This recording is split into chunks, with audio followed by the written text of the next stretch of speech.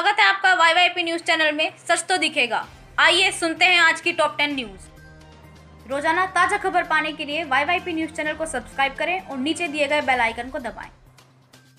पिछले 24 घंटे में करीब 2000 कोरोना मरीज़ पाए गए। इसी के साथ देश में अब तक कोरोना के मरीजों की संख्या 26,917 व 826 लोगों की हुई मौत। करीब 6000 लोग हो चुके हैं ठीक। उत्तर प्रदेश में अब तक अठारह सौ सतासी मरीज़ मिल चुके हैं व इकतीस की हो चुकी है मौत। दिल्ली में पाए गए दो सौ तिरानवे कोरोना के नए मरीज़, मरीजों का आंकड़ा पहुँच चुका है 2918 पर। 877 लोगों को मिल चुकी है छुट्टी व चौवन लोगों की हो चुकी है मौत। सहारनपुर में मिले छह अन्य मरीज़। सभी देवबंद के मदरसों के छात्र इसी के साथ कोरोना मरीजों की संख्या पहुँची एक पार। गाजियाबाद में तेरह लोगों पर हुई एफआईआर। गोदाम से निकालकर बेच रहे थे शराब, कब्रिस्तान के पास बेचते थे शराब। फरारी से निकले बड़ी शान से, लेकिन पाला पड़ गया कानून से। ये उसी इंदौर में हुआ जहाँ एक हज़ार से अधिक कोरोना के केस हैं। Stay home stay safe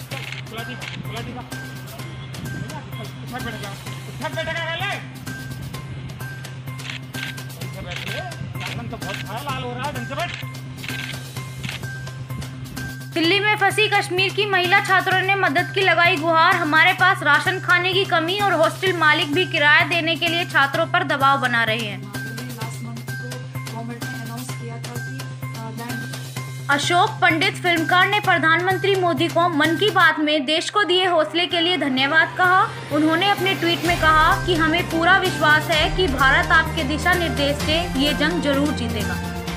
मंत्री श्री योगी आदित्यनाथ जी ने पश्चिमी उत्तर प्रदेश व अन्य क्षेत्रों में हुई बेमौसम बारिश का संज्ञान लिया है। साथ ही आकाशीय बिजली के कारण हुई जनहानि में पीड़ितों को चार चार लाख की आर्थिक सहायता भी तत्काल उपलब्ध कराने के निर्देश दिए हैं।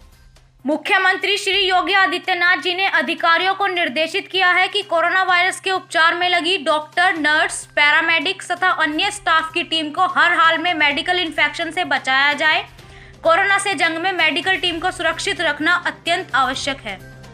हम मनुष्य में भेद नहीं करते हैं। हमारी कोशिश है कि जरूरतमंदों तक मदद पहुँचे, मोहन भागवत।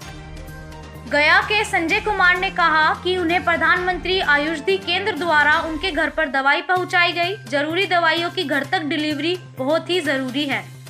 ड्रग इंस्पेक्टर को मैंने व्हाट्सएप किया। प्रधानमंत्री उज्ज्वला योजना के तहत कथुआ जम्मू कश्मीर में गैस सिलेंडर बांटे गए।